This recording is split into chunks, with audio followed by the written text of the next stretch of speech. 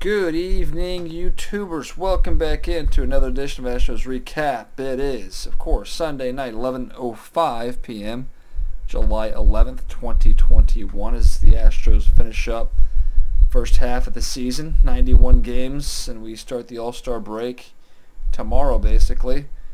Um, so, obviously, the Astros played, you know, Oakland for three, and then New York for uh, for three.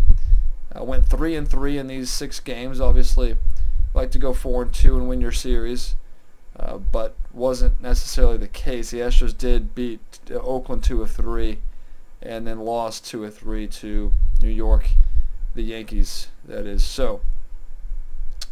Um, I'm actually coming to you feeling okay. Uh, obviously, the Astros won today just to salvage a game, and it was huge. Uh, improbable. They were down five runs uh, in the ninth inning. So not really feeling like you had a chance. And uh, I give the offense and, and everybody that produced in, in the order in that, that, that ninth inning major credit to uh, continue to put up good at bats and get the win. Obviously, Altuve, the big hero, three-run shot. We will talk about that game, obviously, but I do want to go in order. So, off day Monday for the Astros. First off day, you had their 20 games in 20 days uh, with an off day, a rain out basically on a Friday back in Detroit, and then you had the doubleheader on Saturday, a seven inning doubleheader. so you had an off day there, but first scheduled off day on Monday, so I'm sure the team you know enjoyed that or getting it, and then. So yeah, you had a six-game homestand. I want to look at this real quick because, yeah, six-game because they swept Cleveland so last Sunday was a nice podcast to have after getting swept by Baltimore. Uh, that actually reminds me. So uh, when I did my mid-season report, which was after Wednesday, Wednesday the 30th, right after I got off, I, I realized I actually left out two people in the rotation. I believe it was Framber Valdez and Jake Odorizzi. I, two, two people I did not talk about. And I was supposed to bring this up last week, so I'm way behind. Uh, but it's the All Star break, so I guess you know if I if I were to do another mid season report, uh, this would be the time to do it. But I'm just going to talk about two players. Obviously, Jake Odorizzi, a guy I I have a lot of faith in. Um, obviously, didn't get off to a great start. Started a little bit late. Came in, you know, halfway through April, so was sort of late. You know, got signed know, he was just late to the party, I guess. Uh, didn't start off in the rotation. So when he finally got his first start, not very good. Second start, not very good. Third start gets hurt, obviously, was out for a while. Coming back, feels like he's starting to get into a rhythm into, into the zone. I think Odorizzi is going to be a very good, solid uh, starting pitcher for us for the majority of the year. In fact, I expect him to be uh, very solid. Uh, for me, like what I've known of Odorizzi in the past, obviously, I remember him more so from his Tampa Bay Rays days than his Minnesota Twins days. And the Twins are the most recent, but Odorizzi, I think, will be a very solid middle of the rotation type arm, like a three. And his ERA's gone down. I mean, he you know he's up, he's up over 10 after his three starts, but every start since, it's he's been pretty solid. So. Um, that's a guy I, I was ha- you know they actually signed him after Framber got hurt first start of spring training, and Framber initially was going to be out for almost the whole year. Was the first initial report, or so I heard. So Odorizzi was sort of going to be like a replacement for Framber. Framber's back in the rotation. Framber had been great We'll talk about his two starts this week, which weren't spectacular, so he fell off a little bit. But Framber basically picked up right where he left off uh, last last year in the postseason. So I don't think I talked Framber. Maybe I did. Maybe I didn't. Uh, I know I didn't talk Jake Odorizzi. I mean, so I was talking about starters to begin with, and I jumped to the bullpen, and then I talked about the uh, position players after that. But yeah, I think Fry, yeah. Anyway, Framber's been great. We'll we'll talk about him here in a minute because he started first game. I'll talk about here, but um, uh, those two guys. I'm trying to remember if I forgot anybody else because I talked, I talked McCullers. I remember going back, if you remember correctly, I, I went back to the very first series of the year, and I did things based on. So I, yeah, I talked Greinke, I talked Javier, we talked McCullers, I talked Garcia. I want to say I talked. It's so weird to go back and think about your your first four starters. Urquidy, I think we talked about. Yeah. Yeah. So I, yeah not in particular order there, but uh, I needed to talk Framber and Odorizzi there. So Framber, happy with. I mean, he's the ace of the staff. He's not the quote-unquote guy. I mean, Greinke would be your ace when you just look at, you know, body of work. But based on performance last year and earlier halfway through this year, uh, Framber's the guy. And Odorizzi, I think, will be a very solid piece of the rotation second half of the year. So I'll just leave that there at that. Um, but yeah, shifting to the games here. So the Astros didn't. This was a Framber start on Tuesday. Wasn't very good. After two, yeah, he gave up three runs in the first, three in the second. So it was, it was very early, six runs. Uh, Alvarez was really the big story of the game. He had a big two-run shot. Uh, well, the two-run home run of the first wasn't big, but getting them on the board after giving up three, which was nice to get. Um, but we were down six to two, and then you know, was it a grand slam he hit? Might have been. But he had a big swing that tied it. We took the lead. We added on. So you know, not a great start, but the offense came through. The offense, you know, getting Alvarez back after he was on paternity leave in this game was big. So, uh, but yeah, I'm trying to look here at his I need to find the summary here. Scoring plays.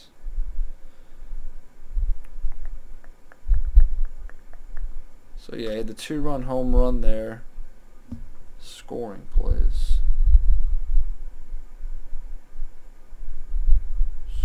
Give me just the stupid scoring plays. Come on. All right. So Straw had an RBI single to make it six to three. This is all in the bottom half of the fourth. And Alvarez hit the big three-run shot to tie it. And then yeah, Altuve had a two-run single, and then I believe it was a, I guess an RBI ground up by Gurriel for their nine runs. But Framber's line not very good. He did get through five innings, uh, got the no decision, ten hits, Six runs, five earned runs, walked two, struck out six. ERA rose to 2.86. Bryan Abreu, first game back from the DL, IL I should say. Not a huge fan of Bryan Abreu. We've been over this. Uh, but he did get two scoreless innings in, so he looked good here at least. Uh, we will talk about him here in a little bit because he uh, he's not good. He's not a good reliever. Just that simple. Um, Stanek got the hold there, and then Pressly obviously gets the save his 15th of the year. So like Pressly's saves have gone up a little bit. He's been getting more opportunities of late. Um, but yeah, good win. Oakland, you gain another game. Same thing on uh, Wednesday. As they fought, they fell, fell behind in basically every game, but they were able to come come away with wins. Obviously, the big home run here. I have to think about this. Uh, Altuve had a big three-run shot uh, we did cough up the lead there as uh, that was um,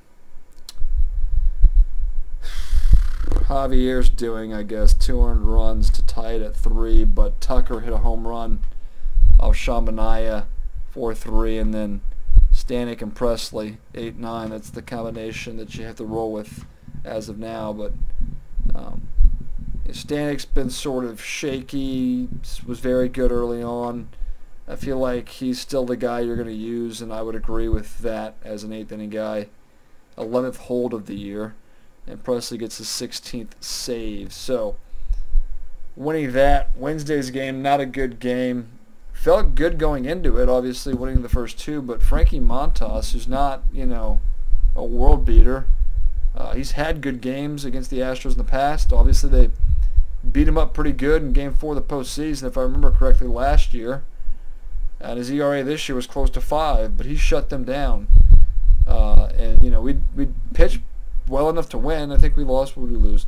Two to one. So I mean, McCullers tough luck loss, I believe. Yeah. But McCullers, after giving up two in the first, was pretty solid the rest of the way through.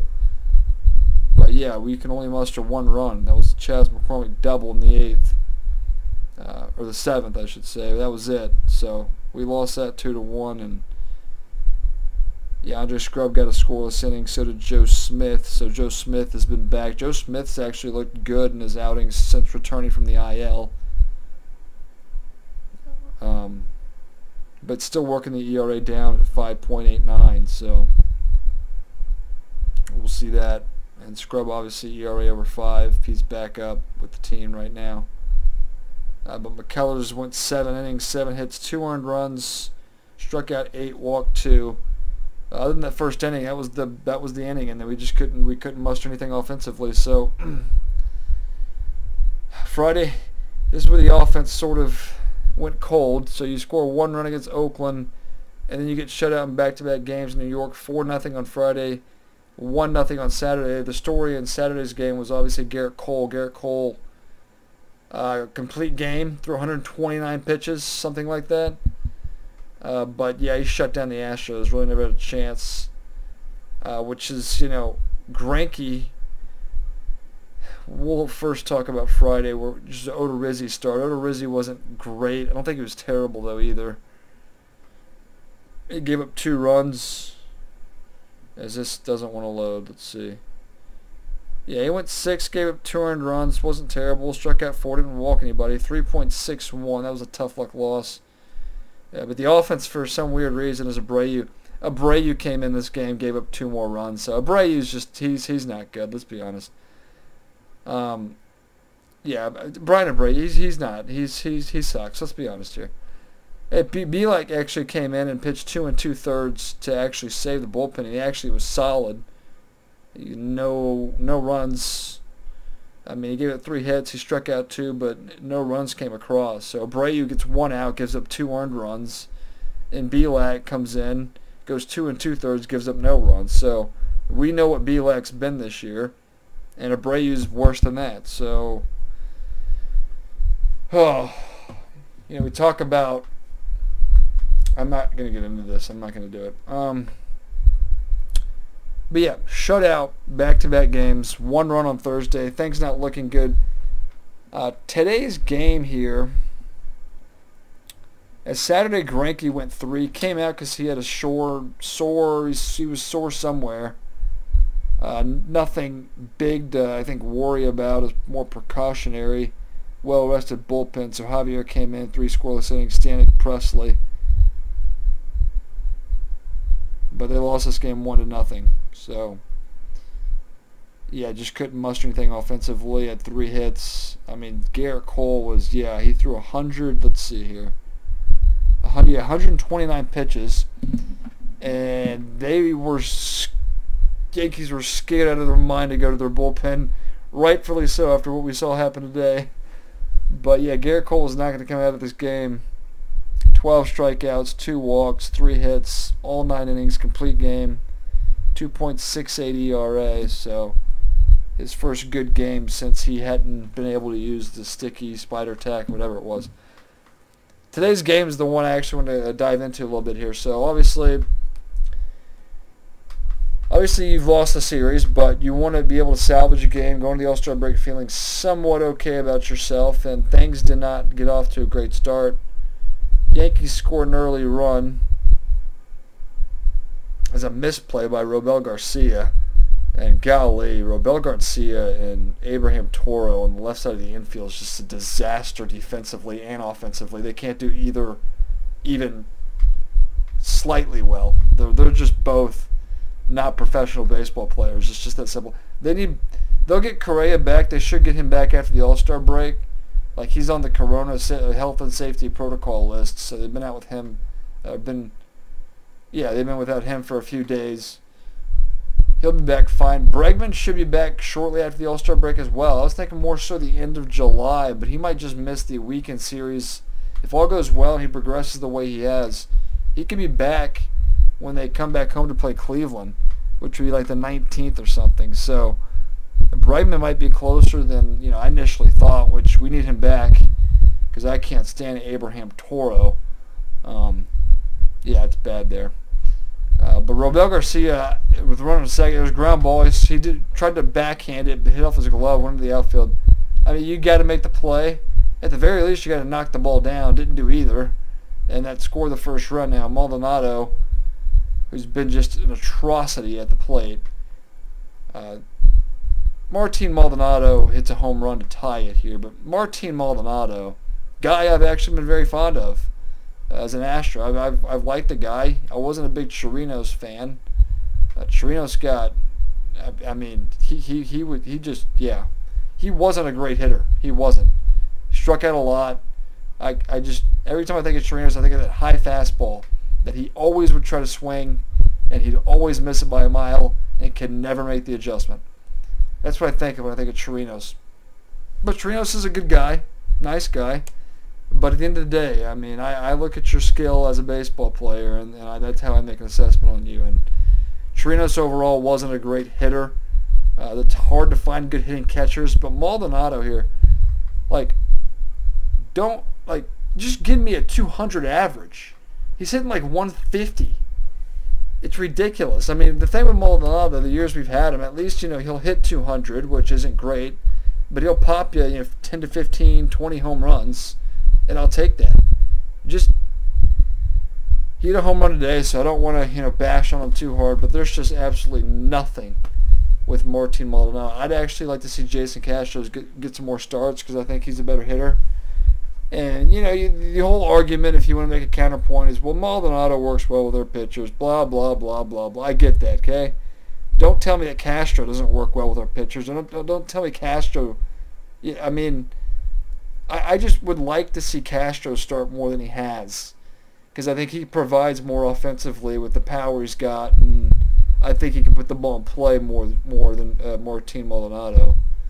And I think he cares a little bit more. I feel like Maldonado sometimes goes up there and just doesn't even really care about his at bat. But he hit a home run, so that tied it momentarily. Uh, that was basically it. And the Yankees scored two more. Tucker did hit a big home run well, it wasn't really big. It was a long home run, but made it three to two. They really opened it up though with Gary Sanchez's home run uh, to push the lead to seven to two. So you go into the ninth inning down seven to two. Uh, at this point in time, I'm sort of wrapping things up for uh, the Yankees here to sweep us, which obviously this series is way more important for the Yankees than it is for the Astros because the Yankees are basically playing uh, with the trade deadline, you know, half a month away, a little more than half a month away, but the Yankees are playing to put themselves in a spot where they can buy uh, at the trade deadline here. So you know they're hanging on. They're 40. They're 46 and 42 going into this game here. Uh, but we get to the ninth inning here. And um, this is after, you know, Abreu, can, Abreu again gave up runs you can't use Abreu. You, you just you can't use him in a close game. It's just that simple. He gave up another run.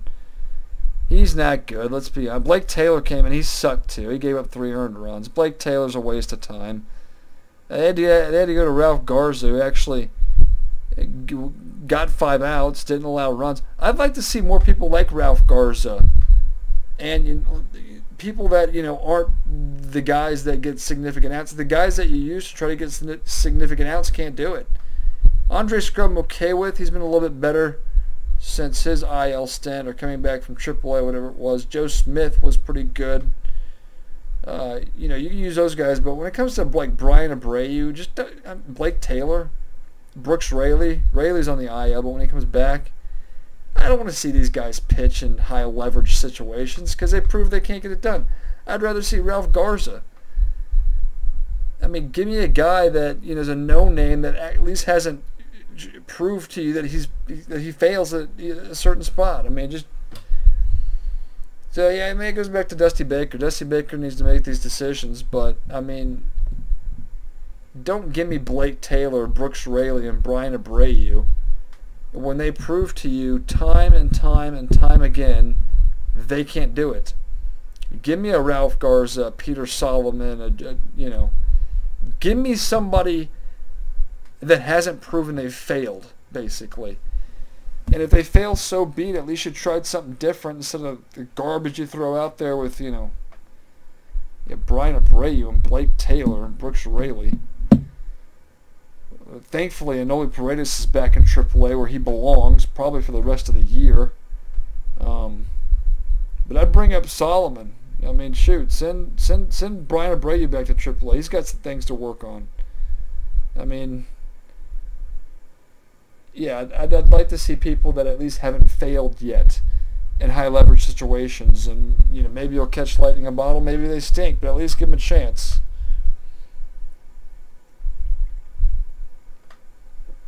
But the story of this game was the big comeback. Obviously, ninth inning, uh, the front Yankees have.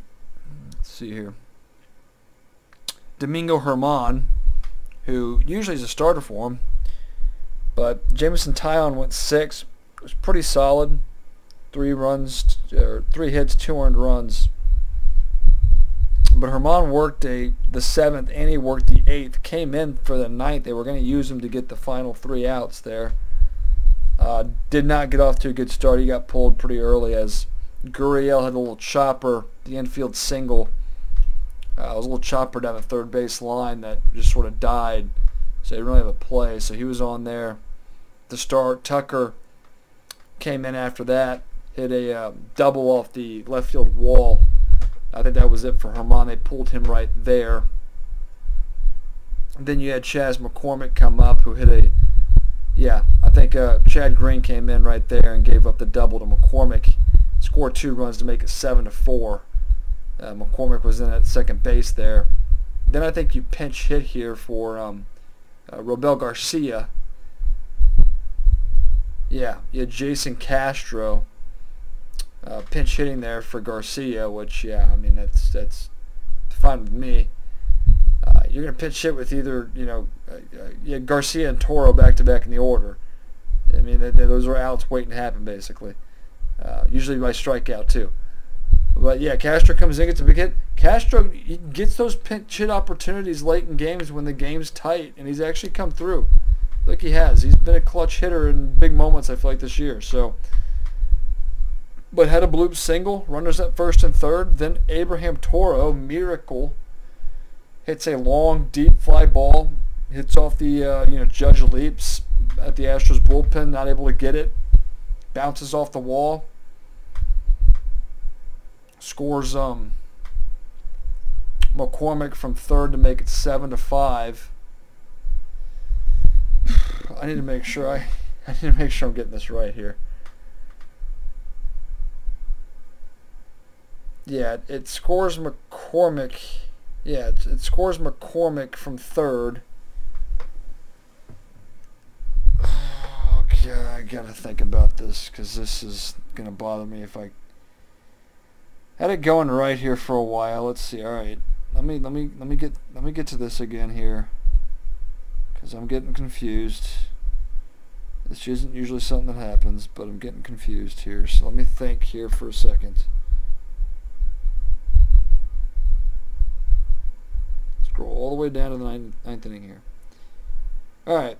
So yeah, Gurriel single, infield single, Tucker double. We got that. Pitching changed to Chad Green. McCormick doubled. Scored two runs. Toro doubled. Okay, so so here's why I slipped up. So after the McCormick double, it was Toro before Castro. So Toro doubled. off the right field, uh, the Astros bullpen off the fence there. Uh, McCormick scores there. Then it was Castro. Castro had the single, and Toro did not score. They didn't. They you know it was a blooper. It had to get over the infield. It did. Toro sort of had to hold.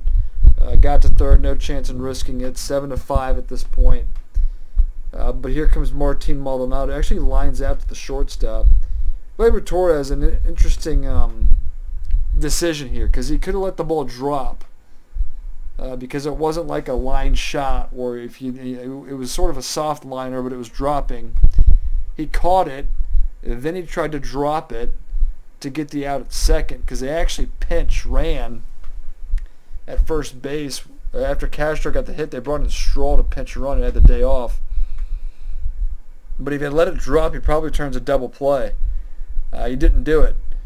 Um, he tried to drop it, but at that point it was too late. The umpire already called a, a Maldonado out. So now you got the corners, one out. Altuve comes up big, comes up clutch, hits a ball. I mean, a ball that was basically on the ground, and he golfed it out of there into left field to uh, get the walk-off hit.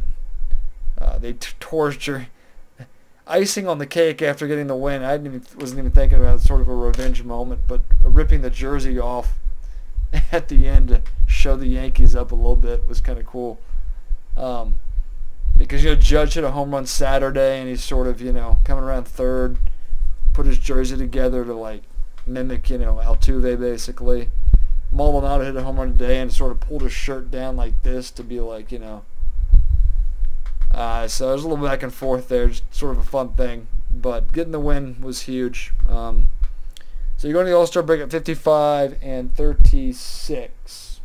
19 games over. So I'll take that. Uh, definitely take that there. Um, obviously, it's just a big win all around. I mean, to be down five runs going into the ninth and to score six, you know, uh, it's always a tough, tough thing to do uh, to you know I mean we hadn't hit worth anything for three three and a half games basically and to come up and score six runs in that ninth inning there uh, especially you know it being the Yankees going into the All-Star break a lot of reasons that this was more than just any average game I felt like there was some meaning to this so getting the win there was big for the Astros and uh, very proud of the way they came together in the ninth inning and the way they passed the baton, kept the line moving. Um, I mean, they only, yeah, I mean, it was great. So very, very proud. And I will sit here and congratulate the Astros on a job well done uh, from a hitting standpoint today. So, wanted to say that. Bullpen still same issues. Nothing's changed there. Starters, uh, Framber's been a very sh- shaky today. Obviously allowed six runs in his previous start, so he might need a small break here. Um, you know, so we're going. I mean, we're going to the All-Star break, and we'll reset the rotation on Friday. I believe McCullers will get the uh, start here, and then we'll go from there. Greinke, of course. Uh, I think the whole taking him out soreness was precautionary. He'll have extra time to rest, obviously and hopefully our starters can basically do what they were doing second half. Uh, you know, I go into the season, I said 88 to 92 wins. I look at things now, think they should be better than that, to be honest with you, with a 19 game, uh, being 19 games over 500. Uh, the A's are three and a half back, so you know, leads decent. Would like it to be a little bit better, obviously. Um, but I did the math earlier today. If the Astros go 47 and 24, that'd put them right at 102 wins, which would be nice to have another 100 win season. Um, so yeah, that's asking a lot. You know, the, it's maybe being a bit too greedy. If the Astros, you know, win 92, 95 games, I can't really be upset there. Um, if they're around 30-ish games over 500, I really can't be too upset. But I mean, this team surprised me in the past. After what happened in 17, I didn't expect them to win more than 101 games. You know, in 18 and they won 103. 19 they won 107. So obviously the disappointment last year until the playoffs. But I mean, this team, uh, their offense is good. If they just get that one or two relievers I think at the deadline, getting one would be enough because I think if you can get Baez back, I think he can help. I'm not going to expect much of anything from Josh James.